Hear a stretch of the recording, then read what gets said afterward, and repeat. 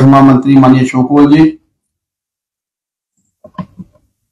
कविंद्र गुप्ता जी हमारे पूर्व deputy CM Rajesh Raja ji जो एक डायरेक्शन का काम करते हैं और जो नई मूवी द ग्रेट डोगरास जिसके विषय में बात की, उसकी डायरेक्शन करेंगे। पवन शर्मा जी, हमारे बहुत अच्छे, बढ़िया प्रोड्यूसर डायरेक्टर भी। और आज के इस कार्यक्रम के सूत्रधार और भारतीय जनता पार्टी के हमारे सीनियर लीडर भी प्रोफेसर कुलभूषण मल्होत्रा जी, जो इस हमारी लाइब्रेरी नाना देशमुख, जिसको नाम दिया गया था, उन दिनों में जब इसका शुभारंभ हुआ था, और उसको लगातार से उस दिन से लेकर आज तक उनके प्रयासों से बहुत सी पुस्तकें भी लिखी गई। पुस्तकों के साथ साथ कुछ नई चीज़ें भी जो कभी ध्यान में आ, आया कि वो भी होना चाहिए उस विषय को लेकर भी उन्होंने चाहे मैं जब पार्टी का अध्यक्ष था तब उसकी शुरुआत हुई थी। अभी देखियो और उसके बाद रविंदर रैना जी का समय अंतराल उनकी तरफ़ से भी उनको प्रोत्साहन मिला। और अब आगे भी इनको प्रोत्साहन मिलता रहेगा। ये मेरा मानना है और ये कुलभूषण मोत्रा जी के लिए बहुत बढ़िया शब्द है। ये मत सोचिए कि एक जगह पर आपको रखा गया। आपका कार्य बोलता है कि लाइब्रेरी के लिए और डॉक्यूमेंटेशन के लिए आपने क्या क्या? किया बहुत छोटी सी जगह पर शोध जी कह रहे थे। हमने बहुत छोटी सी जगह पर इसकी शुरुआत की थी। लेकिन आज जिस तरीके से ई लाइब्रेरी, वहाँ उसकी शुरुआत होना, पूरे देश भर से जब कोई ना कोई नेता यहाँ पर आता है तो लाइब्रेरी में विज़िट होती है उनकी। और लाइब्रेरी में विज़िट करने के बाद वो कहते हैं कि सही मायनों में ये अच्छी लाइब्रेरी। मित्रों, इसके लिए मैं कुलभूषण मोत्रा जी उनकी टीम को जो है वो साधुवाद भी देना चाहता हूँ। और धन्यवाद करना चाहता हूँ कि आज उस वेबसाइट को शुरू करने के लिए आज जिसको माननीय शोकोल जी के साथ, माननीय कविंद्र गुप्ता जी के साथ, पूरी टीम के साथ मुझे मिलकर शुभारंभ करने का मौका मिला है।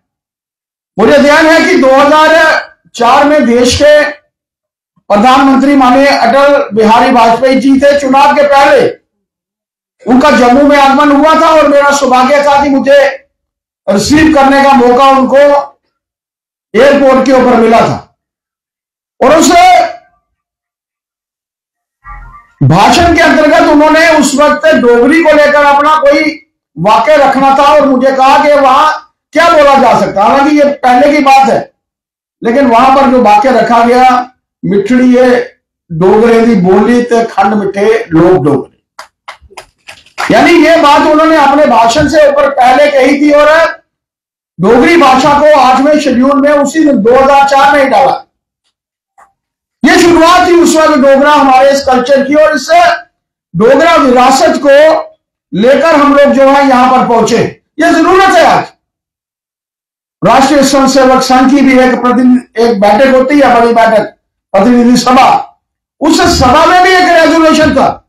वो डोगरी को लेकर नहीं था, लेकिन देश भर में यह रेजोल्यूशन था कि हम लोगों को अपनी जो लोकल लैंग्वेज है, उसको प्रोत्साहन करना चाहिए।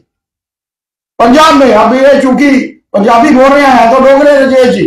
पंजाबी इसलिए बोल रहे हैं क्योंकि लगातार से काफ़ी समय से ये लुधियाना में जो है वो कार्यरत है, वहाँ पर मूवीज़ बनाते हैं। आप कभी देखिए, पंजाब में आप लोग जाइए, वो आपको हिंदी भाषा में कम बात करते हुए नज़र आएँगे। वो ज़्यादा भाषा में अगर कोई नज़र आएँगे तो वो आप लोगों को अपनी पंजाबी में बात करते हुए नज़र आएँगे। कहीं भी कल्चर में पहुँचेंगे। फॉरन में वहाँ जाकर सेटल होंगे। अंग्रेज़ी में बात करेंगे इंग्लिश में बात करेंगे, लेकिन जब अपने लोगों के बीच में बात करेंगे तो वो पंजाबी में बात करेंगे। ऐसे ही हमारे कश्मीरी समाज के लोग भी। इसी तरह से हम लोगों को अपनी डोगरा, डोगरी भाषा को भी प्रोत्साहित करना चाहिए। और इसके लिए जो प्रयास डॉक्टर साहब आपने किए हैं, ये बधाई के आप पात्र हैं, आपकी टीम भी। और जो लगातार से आप लोगों के प्रयास है, मैं देख रहा था, जूरी के हमारे बहुत से सदस्य भी इस कार्यक्रम में मौजूद हैं जलाल साहब हैं पीछे जैक्सन साहब हैं पीछे लुथरा जी हमारे मेरे हीरो। फ़िल्म इंडस्ट्री के हीरो भी आ, संजीव लुथरा जी रहे हैं हमारे बीच में बहन जी भी बैठी हुई है पीछे। तो ये एक बाकी भी हो गए जल्दी जल्दी में ये जी ने समय नहीं दिया बाकियों को देखने का एक बलवी नाम रतन जी भी है। तो ये एक अच्छा प्रयास इनके द्वारा है कि ज्यूरी के माध्यम से ये वेबसाइट के माध्यम से हम लोग अप्लाई करेंगे। हमें भी अप्लाई करना चाहिए। क्योंकि हो सकता है जो आपका कार्य हो आपको नहीं दिखता हो लेकिन वो सराहना के योग्य हो। और जो मुंबई में निधि शर्मा जी द्वारा और उनकी पूरी टीम द्वारा एक जो डोगरा समाज ऐसे ही वो चंडीगढ़ में भी एक डोगरा हमारा समाज संजीव शर्मा जी के भाई हैं वहाँ पर शक्ति जी। हमारे आ, हमारे साथ स्वयंसेवक होते थे। वो भी वहाँ पर वो चला रहे हैं। जहाँ जहाँ भी हमारे डोगरा इंटरनेशनली जिस तरीके से राजेश जी ने बताया कि इसका नाम इंटरनेशनली है तो हमारे डोगरा जो है विश्व भर में जो है, वो गे हुए। और ऐसे समय में जगह जगह पर उनके माध्यम से, और जो इस फ़िल्म के प्रोमो को लेकर अभी पवन जी भी बात कर रहे थे, कि जो दो में एक तीस सेकंड का जो प्रोमो हमें बताया गया है कि जिसके ऊपर फ़िल्म जो है वो राजेश जी और कुलभूषण मोहत्रा जी जो है, वो बनाने जा रहे हैं।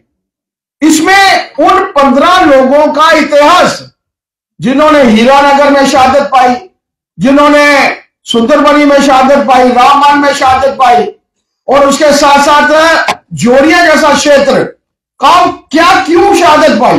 कार्य यही था कि भारत माता का झंडा, एक विधान, एक निशान, एक प्रधान की लड़ाई थी। इसमें इस हमारे प्रदेश में दो झंडे थे, लेकिन मेरा मन था मैं तिरंगा झंडा फेरा हूँ अपने घर के ऊपर। एक तो हीरानगर में छत के ऊपर फहराते हुए शहादत पाई सात दिन पहले शादी हुई थी और उस, उनकी धर्मपत्नी ने विवाह रहते हुए अपना पूरा जीवन जो था एक बच्चे को गोद में लिया और उसका पूरा जीवन काट दिया कि शहादत पाई है उसने और शहीद की बीवी जो है वो दोबारा शादी नहीं करेगी। सात दिन हुए थे शादी हुए, आप सोच सकते हैं। वो इतिहास कौन पढ़ाएगा हमारे बच्चों को? हमारे इतिहास को तो हर जगह पर तोड़ मरोड़ कर जो था वो रखा गया। हमारी संस्कृति को, हमारे इतिहास को, कारण यही था कि जब मुगलों ने हमारे ऊपर शासन किया और उसके बाद अंग्रेज़ों ने इस देश का वातावरण मित्रों कैसा खराब किया था, जिसके चलते इस देश को धकेला गया पीछे।